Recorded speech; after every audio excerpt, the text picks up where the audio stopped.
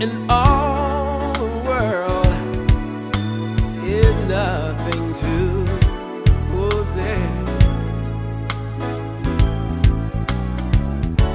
If all the things